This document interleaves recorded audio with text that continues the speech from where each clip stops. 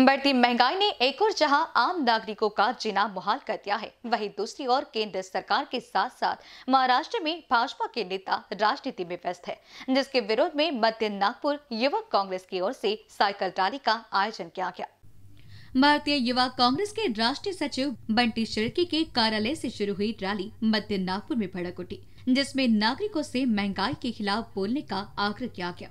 Rally Badkas चौक स्थित महल संगम मुख्यालय की ओर से भी की गई। उस दरमियान सभी युवक कांग्रेस कार्यकर्ताओं ने पूर्व मुख्यमंत्री देवेंद्र फडणवीस का मुखोटा पहना और केक काटकर फडणवीस का जन्मदिन मनाया। क्या राज्य सरकार के खिलाफ बोलने वाले फडणवीस केंद्र सरकार की महँगाई के खिलाफ बोलेंगे? ऐसा सवाल इस दौरान कार्यकर्ताओं ने खड़ा किया। भारतीय युवा कांग्रेस के राष्ट्रीय सचिव बंटी शिर्के नागपुर युवा कांग्रेस के शहर अध्यक्ष तौसीफ खान, इनके मार्गदर्शन में नागपुर शहर युवक कांग्रेस उपाध्यक्ष आकाश गुजर नागपुर शहर युवा कांग्रेस के महासचिव नयन तरवटकर, स्वप्निल ढोकी इनके नेतृत्व में सैकड़ों कार्यकर्ताओं ने साइकिल रैली में भाग लिया।